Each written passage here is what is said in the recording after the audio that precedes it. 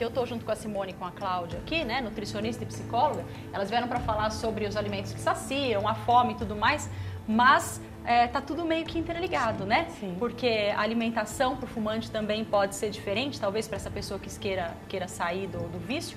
E um tratamento psicológico deve ajudar com certeza a ela se libertar dessa mania que vem junto com o cigarro. Tô certa? Sim. Fala, Porque meninas. comer, é, às vezes eles acabam trocando cigarro por outra substância, ou álcool, ou um docinho, Uhum. ou alguma coisa que dê essa sensação de, de calma, de prazer, que é o que o cigarro causa. E aí acaba trocando um problema, às vezes, por outro. Tá. Porque esses alimentos ricos em calorias vazias também podem. Por que, que eles falam que para de fumar engorda, Simone? Justamente por essa troca. Eles trocam o cigarro por uma balinha, aí são 10, 15 balinhas no decorrer do dia, ou é um chocolatinho, Se ou ele é parar com o cigarro e ele tiver uma alimentação bacana, Não vai ganhar peso. Não vai ganhar Muito peso. pelo contrário, vai ter um, um bom benefício para o organismo, aí fazer um bom trabalho de eliminação dessas substâncias tóxicas, porque ainda vai permanecer por vários anos no organismo dele, Uhum. para que ele não tenha um problema futuro, né? E futuro. que para isso precisa de mudança de hábito. Sim. E a mudança de hábito vem pela consciência, Uhum. né? Porque hoje, na, na, era que a gente está, tudo é muito fácil, todo acesso é fácil. Uhum. Então, se você quer o, o cigarro eletrônico, por mais que não está autorizado, você consegue. Sim. Se você quer o cigarro, se você quer o chocolate, então vai pela consciência. De você começar a conversar com você mesmo Uhum. sobre as restrições. Eu acho que tudo que a gente quer mudar tem que mudar primeiro na cabeça. Não É, é? e a só tem que muda- virar uma chavinha para depois começar a mudar o hábito? Então, só que essa chavinha só é virada a partir do momento que eu tenho consciência do que está acontecendo. Certo. Eu costumo dizer que a gente tem que conversar com a gente. Sim. E dentro da gente tem vários gente. né? Tem várias Cláudias, tem várias Simone. E, e- e cada um, um desses eus, eles passaram por determinadas fases. Algumas mais ansiosas, algumas mais tranquilas, algumas traumáticas. né? Então, Perfeito. quanto mais consciência você tem e conseguir integrar essas partes de você, Uhum. você consegue ter mais recursos para poder lidar com o vício. Perfeito. E isso que você falou agora tem a ver também com a fome, gente. Ontem eu recebi um, um WhatsApp assim, é, meu Deus, me livra dessa vontade de jantar 11 vezes, né?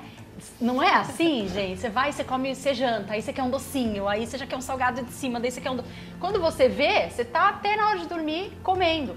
Isso é uma diferença muito grande do, do- do simples é, sentar para se alimentar, para entregar para o corpo o nutriente que ele precisa para sobreviver.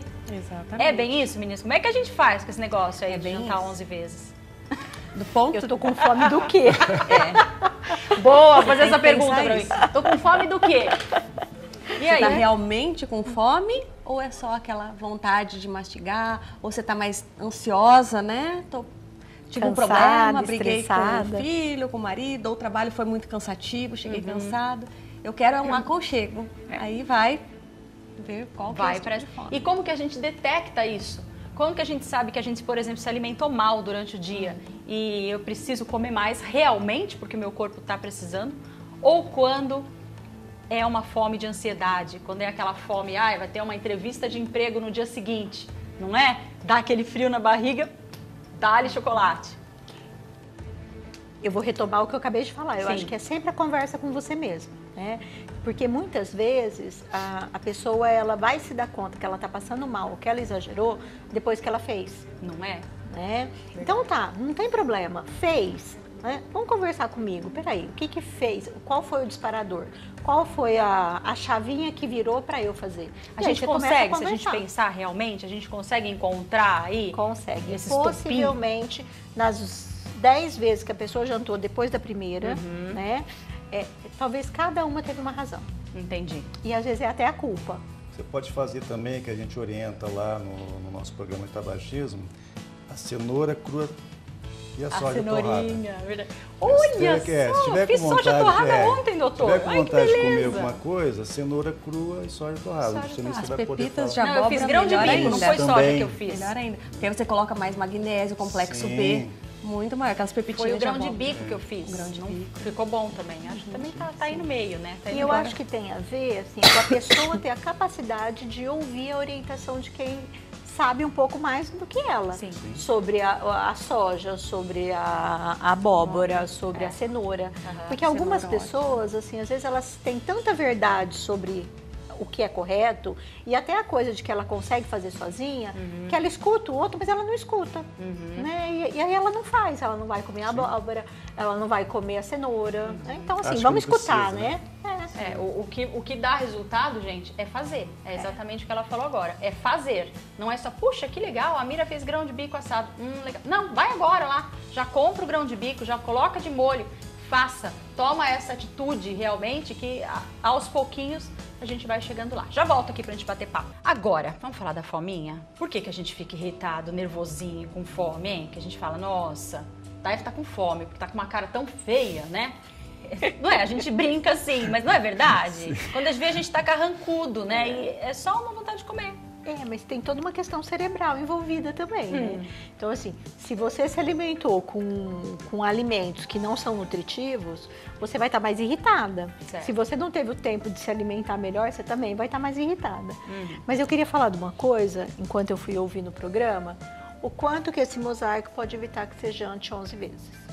Né? Porque é 11 extremamente terapêutico. Né? É extremamente terapêutico, porque Não assim, é? a partir do momento que você faz qualquer coisa manual, Sim. que seja, vamos dar um exemplo de uma leitura, ou que seja quebrar prato, né, colar, é, você está em interação com aquilo ali.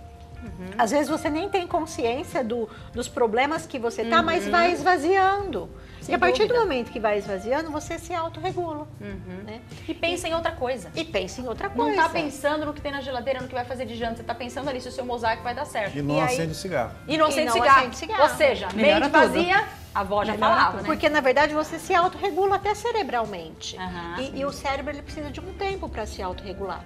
E o cérebro ele também precisa de um tempo para você aprender a ficar bem. Tá. Então, quando a Simone estava falando dos alimentos nutrientes, né, que, que faz com que você não tenha essa fome emocional que te dispara, é, é comum a pessoa se sentir estranha de estar melhor.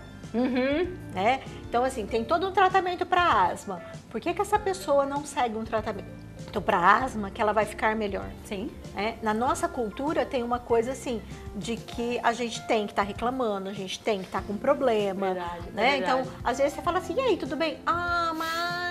Ai, tô bem, mas podia estar melhor, né? Porque acaba sendo, assim, uma coisa sociocultural. Sim. Então, é, eu penso que em qualquer tratamento psicológico e até nutricional, né, e médico, é, a gente tem que fazer a pergunta para o paciente, Hum. né?